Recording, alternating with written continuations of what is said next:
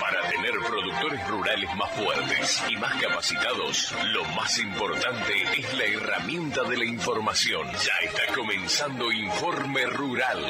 Información con rinde asegurado.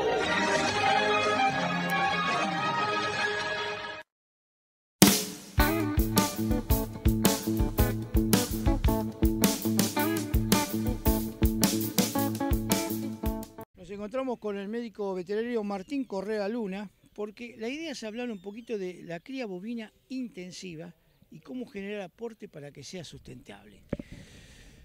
Bueno, este es un modelo productivo que lanzamos desde el INTA Venado Tuerto hace más de 20 años. O sea que ya tiene su, historia. Quiero decir con esto que ya está probado, que no es un modelo teórico, este, entonces ya tiene su historia y tiene su competitividad, ¿no es cierto? el aporte que hace la, ganadería en lo que hace a tratar de mantener los suelos fértiles es algo que se hizo durante mucho tiempo hasta la famosa agriculturización o sojización que fue corriendo hasta el maíz, ¿no es cierto? Y por supuesto las pasturas y las vacas y todo. Eh, nosotros seguimos pensando que la rotación, o sea, en manejos mixtos de agricultura y ganadería, haciendo rotar los suelos en forma periódica entre agricultura y ganadería para tratar de mantenerlos lo más parecido a lo que fueron al principio, que ya ahora estamos en una situación bastante diferente. ¿no? ¿Y por qué hacer cría? Porque nosotros, eh, yo estaba modelando sistemas hace más de 20 años de ganadería para hacer los sistemas mixtos, antiguamente se hablaba de hacer más invernada, ¿no es cierto? Pero hoy día, este, ¿por qué puede entrar una vaca de cría? Precisamente porque, primero hay que destacar que la vaca de cría siempre se la analiza como un negocio de baja rentabilidad, porque va a los peores suelos del país, ¿no es cierto? Y se la compara con una soja de altísima rentabilidad en los mejores suelos. Entonces, la comparación fue poner la vaca en esos mejores suelos, con las mejores pasturas.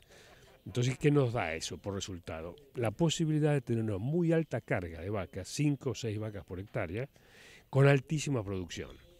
Eh, usted habla eh, de excelentes pasturas y evidentemente no todo el mundo encara una pastura como si fuera un cultivo eh, de girasol o de maíz o de soja. La encara como el pastito para darle comer a la vaca, la olla de la vaca.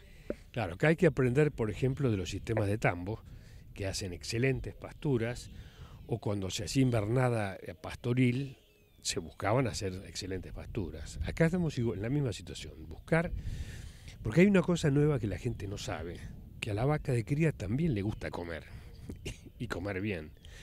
Y también se puede gastar plata o invertir plata en la vaca de cría. ¿Por qué? Porque históricamente, en todo el país, no hablo de acá solamente, la vaca de cría es una actividad que no hay que gastarle plata. ¿Por qué? Porque la vaca siempre se las arregla. ¿Y cómo se las arregla la vaca? No preñándose. Ese, es lo que el gaucho dice, se atrasó el celo. No. Vaca que falta olla no entra en celo. No se alza. Y entonces no se preña. Y ahí el negocio se cae. Si tenés 60, 65% de esteta a nivel nacional, evidentemente hay una muy alta proporción de vacas que está de vacaciones todo el año y no produce. Eh, una vaca tiene capacidad reproductiva 12, 13, hasta 14 años. El tema es la dentadura. Si vos le das pastos malos, no va a poder alimentarse bien. Y ahí es donde no se preña.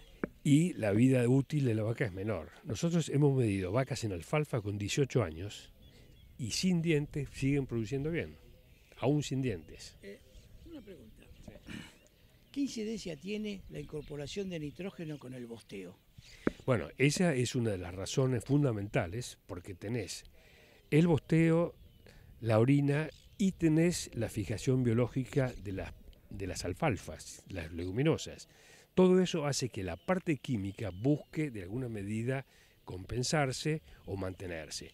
Y la parte física es que con las pasturas, al usar eh, gramíneas y alfalfa, son raíces que van estructurando el suelo y recuperan la fertilidad que se lleva la agricultura. ¿no? Ese, es el tema que, que nos ocupa hoy.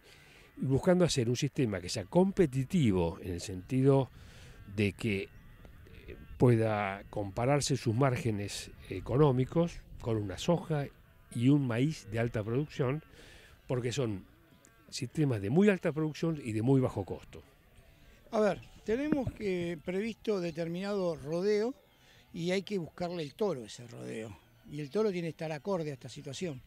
Sí, acá tenemos que pensar que el biotipo animal, por decirlo, eh, o sea, el biotipo carnicero, tiene que ser el que mejores precios logra en el mercado, por un lado. Y por otro lado, tiene que ser el biotipo que tenga la máxima fertilidad y precocidad sexual. ¿Por qué? Porque nosotros ya estamos buscando hacer entores de un año. A los 12 meses la vaquillona de reposición tiene que entrar. ¿Se acabó la historia del entore de 15 meses? Bueno, es entre 12 y 14 meses, pero, pero generalmente las cabezas entran con menos de 15 meses. Y ya olvidarse de los entores de dos años, ¿no?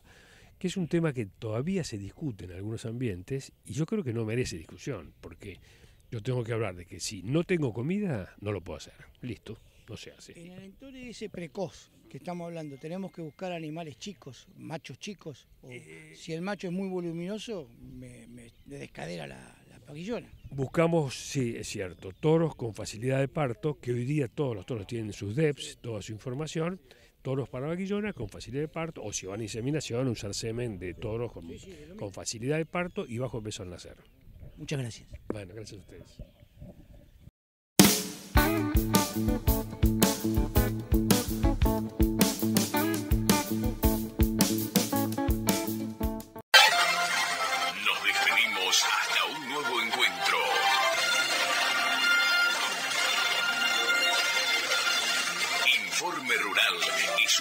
Realización de Horacio Mazola, imagen y comunicación agropecuaria.